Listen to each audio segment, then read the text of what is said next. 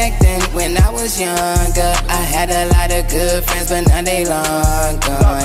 Afterlife is about survival.